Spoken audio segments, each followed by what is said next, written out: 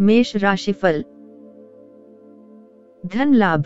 Market में लंबे समय के लिए पैसा लगाना आपके लिए अच्छा है। विदेशी व्यापार से भी अच्छा फ़ायदा हो सकता है। परिवार और मित्र भाई बहन के साथ मतभेद हो सकते हैं, इसलिए रिश्तों को कायम करने के लिए संभल कर चलने की ज़रूरत है। रिश्ते और प्यार, वैवाहिक जीवन के लिए यह समय बहुत शुभ रहने वाला है। आप अपने दाम्पत्य जीवन में प्रेम की अधिकता को महसूस करेंगे। स्वास्थ्य, पिता की गिरती सेहत आपको चिंताग्रस्त कर सकती है, उनका ख्याल रखें। करियर और शिक्षा, वकील व सर्जन के लिए ये समय काफ़ी अच्छा है, आप इस दौरान अपनी करियर के ग्राफ में ग्रोथ हासिल करेंगे।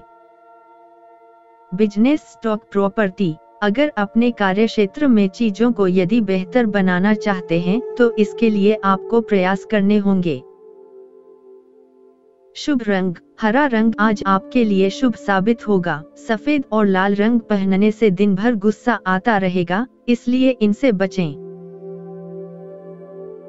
शुभ अंक, आज अंक थ्री आपके लिए शुभ है। तो दोस्तों, ये था मेष राशिफल 9 मार्च 2019 का।